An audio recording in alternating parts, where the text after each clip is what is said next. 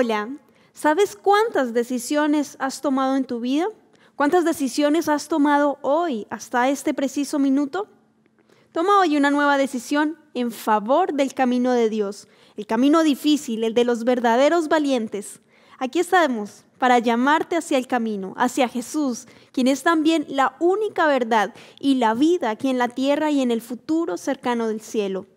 Toma otra decisión, recibe la palabra de Dios en este preciso momento. Acompáñanos y dale un tiempo de paz a tu vida. Bienvenidos.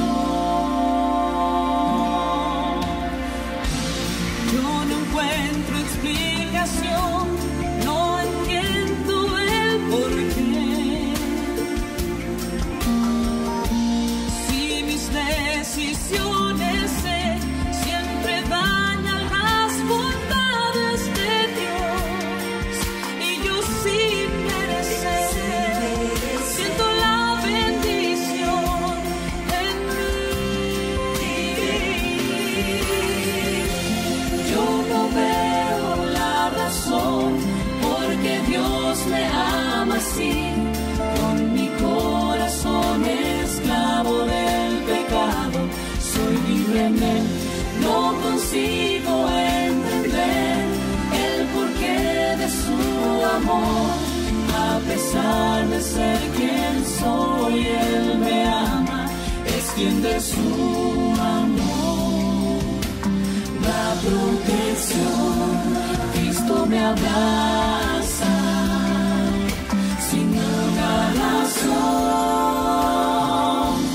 Si fracaso en mi vivir, yo sé que Dios enviará su fuerza y poder.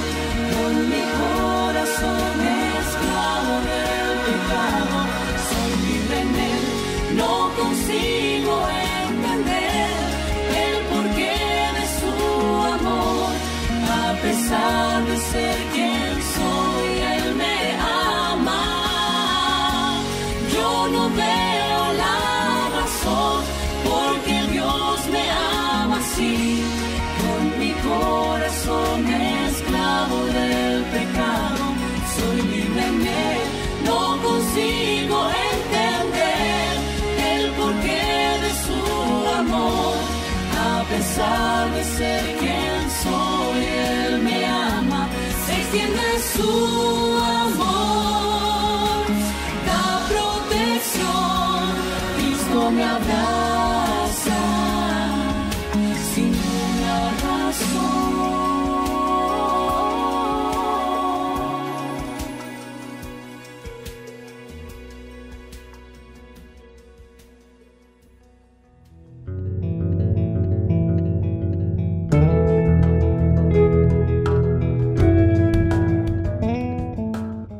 Hola, ¿cómo estás? Para mí es un gusto poder saludarte en este día y desearte a la vez las más ricas bendiciones del cielo para ti, tu matrimonio y tu familia. Hoy estamos hablando acerca de matrimonio, una institución creada por Dios en la creación y que fue instituida antes de que el pecado entrara a este mundo. Por ende, Adán y Eva fueron el modelo perfecto hasta que cayeron en pecado. Lamentablemente de ahí se pervirtió la imagen de lo que Dios deseaba y quería como matrimonio. Es por eso que probablemente si estás casado, hoy cuando abriste tus ojos encontraste a una bella mujer, en el caso de los varones, en el caso de las damas, a un hermoso varón a tu lado. Y es porque el matrimonio, de parte de Dios o en relación a lo que Dios desea, es un matrimonio entre un hombre y una mujer. Y cuando nosotros comenzamos a hablar acerca de principios en relación a esto, tú te vas a dar cuenta que podemos ver un modelo de la relación entre Dios y sus hijos en el matrimonio de un varón con una dama. Vamos a orar para comenzar a adentrarnos en este fantástico mundo que es el matrimonio. Te invito a que inclines tu cabeza, cierres tus ojos y me acompañes en esta breve oración. Vamos a orar. Querido Señor, te damos las gracias por la posibilidad que tú nos das de compartir en esta hora. De manera muy especial, rogamos por nuestros amigos para que seas tú quien les bendiga y le acompañe. Señor, de manera señalada oramos por nuestros matrimonios para que a través de tu palabra seas tú quien nos guíe y nos moldee. Lo rogamos por Jesús. Amén. Cuando yo te hablaba acerca de la relación que Dios tiene para con sus hijos, podemos ver nosotros un modelo en vivo. Por ende, podríamos comenzar hoy haciéndonos las siguientes preguntas, y quiero que tú también te las hagas en silencio quizá. ¿Cuál es el verdadero propósito del matrimonio? ¿Por qué Dios une a dos personas, un hombre y una mujer, en una sola persona cuando se casan? ¿Cuál es el propósito de Dios? ¿Por qué Dios hace esto? Nosotros pensamos que el matrimonio existe para que sean satisfechas nuestras necesidades. Y déjame quizá derribar uno de los mitos tú no te casas para ser feliz. Y cualquiera podría estarse preguntando, pero ¿qué está diciendo? ¿Por qué no me voy a casar para ser feliz? Si busco a la persona idónea, yo quiero ser feliz. Pero quizá el error más grave que cometemos cuando nos casamos es pensar que nos estamos casando para satisfacer nuestras necesidades y puntualmente la necesidad de ser feliz. Y no está mal quizá pensarlo de esa manera, pero quiero decirte que si te casaste con ese motivo en el que eres tú quien quiere satisfacer esa necesidad. Y es por eso que buscaste una mujer para que, en otras palabras, satisfaciera tus necesidades, ya comienzas a verlo de manera diferente, ¿verdad?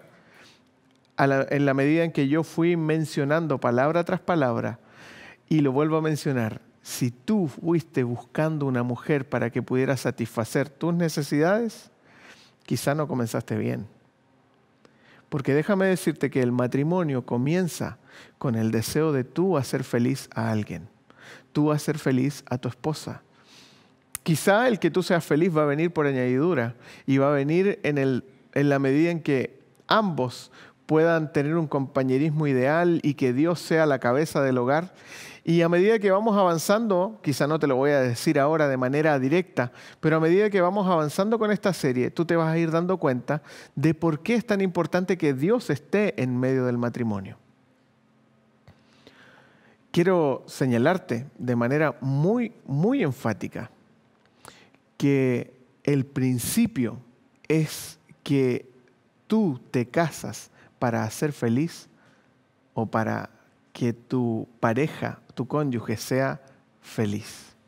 Nosotros vemos eh, el matrimonio o al matrimonio en términos de lo que podemos conseguir. Quizá muchos lo ven como un motivo de seguridad económica, eh, física, donde voy a encontrar cariño, voy a eh, buscar el romance, la aprobación de la otra persona Quizá voy a conseguir intimidad sexual o sencillamente compañía, voy a unirme a una familia, voy a pertenecer a esta familia, etcétera, etcétera.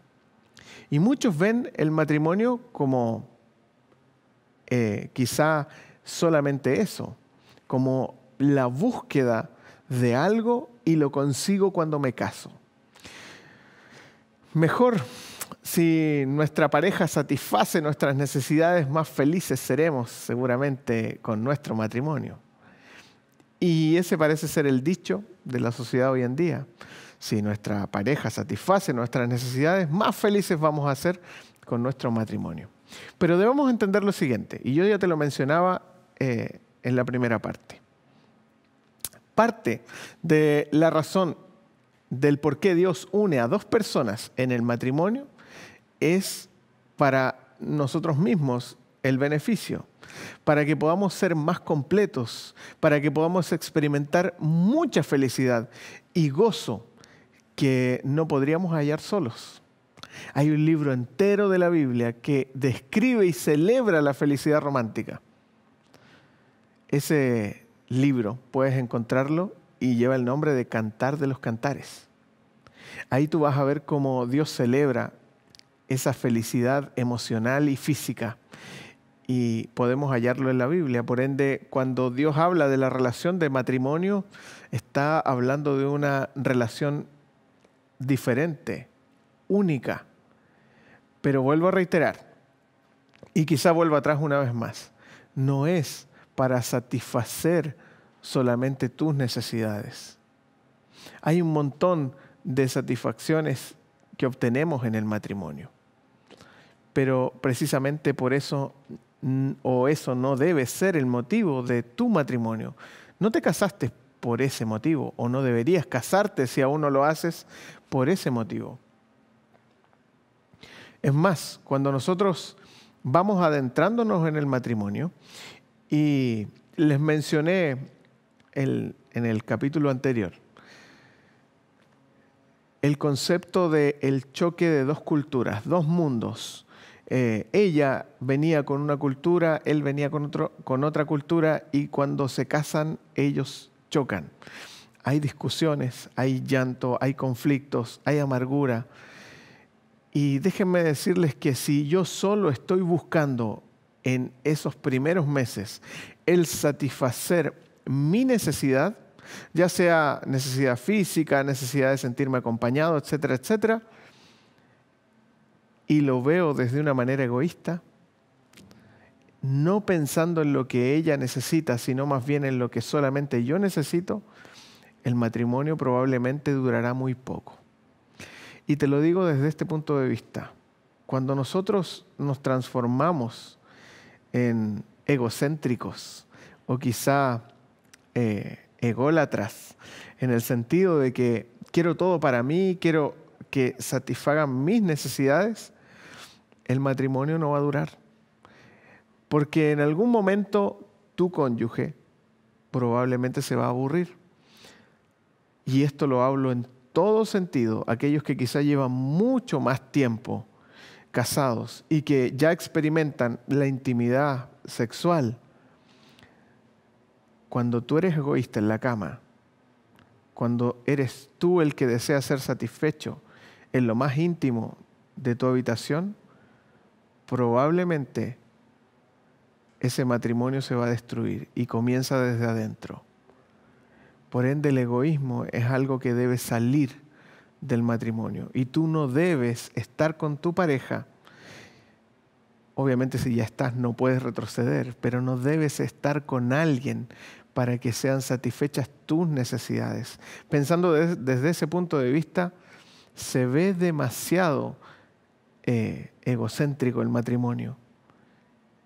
Y si tú no satisfaces a quien es tu cónyuge o con quien deseas casarte o con, con, tu pareja, en las necesidades mínimas y en lo que ella necesita o lo que él necesita, dado eh, el caso, no serás feliz en el matrimonio. Por ende, un principio clave es echar fuera el egoísmo. Dios nos satisface físicamente en la relación con nuestra pareja, nos satisface emocionalmente por poder tener esta conexión profunda con la otra persona.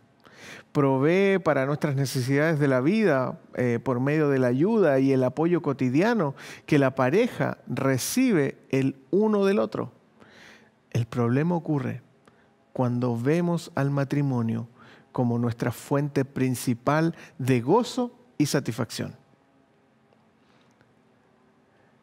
Yo te señalo de forma enfática que el egoísmo no es parte o no debe ser parte del matrimonio. Y el que seas tú solamente quien está eh, satisfaciendo aquellas necesidades más íntimas es un motivo para ir destruyendo ese matrimonio y que eso se caiga a pedazos. Quizá los primeros meses, y quiero hablarle quizá a los matrimonios que llevan un poco menos de tiempo. Los primeros meses pueden ser idílicos, pueden ser tremendos, porque probablemente la mayoría de los problemas y los conflictos se solucionen, ambos queden felices y terminen eh, en el lugar quizá más placentero de todo el hogar. Ese lugar es el dormitorio. Y probablemente tú sabes a lo que me estoy refiriendo. Ese es el lugar donde terminan la mayoría de las discusiones matrimoniales. Cuando la mujer se entrega de manera absoluta y el hombre también se entrega de manera total a la mujer. Esto ocurre y ahí terminan las discusiones, pero a veces queda quedan situaciones que no fueron resueltas. Y esas se van acumulando por el tiempo. Esas van haciendo mella en el amor. Esas van quebrando ese espejo que nosotros denominamos amor. Y cuando este espejo se va trizando y va fisurándose y, va quizá, quizá rompiéndose, es cuando terminamos lamentando el haber visto el matrimonio desde forma muy personal o quizá desde ese egoísmo de satisfacer solamente nuestras necesidades. Es muy importante que nosotros podamos considerar este aspecto, porque dentro del matrimonio nosotros entendemos que existe nuestro cónyuge, quien también tiene las mismas necesidades, necesidades sinceras, necesidades absolutas, al igual que nosotros. Por ende, nosotros debemos intentar satisfacerla. Nada ni nadie puede darnos lo que solo Dios nos da. Dios nos da satisfacción verdadera, propósito real, gozo absoluto. Y cuando nosotros dependemos de alguien, y fíjate en lo que voy a señalar, cuando nosotros dependemos de alguien, nuestra pareja, nuestro cónyuge en este caso, o, o algo, nuestro matrimonio como institución, para satisfacer estas necesidades que son parte de Dios, nosotros hacemos a esto un ídolo. Y al final de cuentas, esto se quiebra bajo el peso de nuestras expectativas, de nuestras necesidades. Y finalmente terminamos arruinando nuestro matrimonio y amargándonos la vida, solo estamos verdaderamente completos y completamente satisfechos cuando nos encontramos en una relación correcta e íntima con nuestro Creador. Es por eso que quiero compartir un par de textos contigo. Yo te comenté eh, en el capítulo anterior que estamos usando una traducción de la Biblia denominada TLA o traducción en lenguaje actual. Habla de forma más contemporánea y me gusta hablar o me gusta leer esta versión para los matrimonios. Mira lo que dice en Mateo capítulo 19 versículos 4 al 6. Jesús les respondió, ¿no recuerdan lo que dice la Biblia? En ella está escrito que desde el principio Dios hizo al hombre y a la mujer para que vivieran juntos. Por eso Dios dijo, el hombre tiene que dejar a su padre y a su madre para casarse y vivir con su esposa. Los dos vivirán como si fueran una sola persona. De esta manera, los que se casan ya no viven como dos personas separadas, sino como si fueran una sola. Por tanto, si Dios ha unido a un hombre y a una mujer, nadie debe separarlos. No eres tan solamente tú el importante en esta relación, el complemento entre ambos.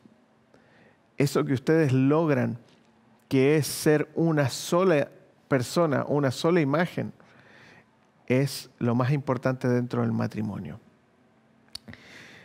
Y quizá termino leyéndote este mismo concepto en el Antiguo Testamento, Génesis capítulo 2, versos 18 al 25. Lo hago muy rápido. Luego Dios dijo, no está bien que el hombre esté solo, voy a hacerle a alguien que lo acompañe y lo ayude. Entonces hizo Dios todos los animales domésticos y salvajes y todas las aves que vuelan en el cielo y se los llevó al hombre para que les pusiera nombre. Y éste así lo hizo. Sin embargo, para el hombre no se encontró compañía ni ayuda. Por eso Dios hizo que el hombre se quedara profundamente dormido. Y así mientras éste dormía, Dios le sacó una de sus costillas y luego le cerró el costado. De esa costilla Dios hizo una mujer. Cuando se la llevó al hombre, éste dijo, esta vez tengo a alguien que es carne de mi carne y hueso de mis huesos. La llamaré hembra, porque Dios la sacó del hombre. Esto explica por qué el hombre deja a su padre y a su madre y se une a su mujer para formar un solo cuerpo. Tanto el hombre como su mujer andaban desnudos, pero no sentían vergüenza de andar así. Queridos, el matrimonio es una institución que viene de parte de Dios y une a dos personas para que puedan tener un propósito y ese propósito es alcanzar la felicidad. Es un modelo en vivo de la relación que Dios tiene con sus hijos. Por eso la razón más grande y más profunda por la cual Dios ha creado el matrimonio es más que nuestra felicidad. Es para que sea un modelo en vivo de la relación entre Él y sus hijos. Yo quiero invitarte para que seas tú ese modelo para que seas tú, a través de tu matrimonio, ese modelo en vivo de lo que Dios hace para con sus hijos. Y quiero invitarte a que me acompañes en esta oración. Señor, ayúdanos para poder comprender que el egoísmo debe salir del matrimonio, debe salir de nosotros y debemos intentar satisfacer a nuestro cónyuge. Acompaña a cada uno de los matrimonios que son parte de esta serie, aquellos que podrán aprender y estudiar acerca de estos principios. Rogamos tu bendición para cada uno de ellos y aquellos que aún no han entrado quizá en el matrimonio, permite que ellos puedan seguir estos principios cuando lleguen al matrimonio también. Lo rogamos por Jesús. Amén. Que el Señor les bendiga y nos volvemos a encontrar en una siguiente oportunidad.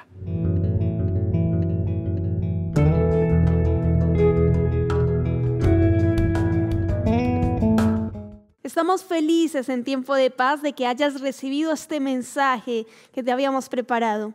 Ten en cuenta que Dios te seguirá llamando todos los días. Escúchalo siempre y las bendiciones serán grandes para tu vida. Mansedumbre, paciencia, alegría y paz tendrás entre muchos más frutos del Espíritu. Nos vemos en una siguiente ocasión. Te invitamos a seguir en la sintonía del canal Nuevo Tiempo, canal de esperanza.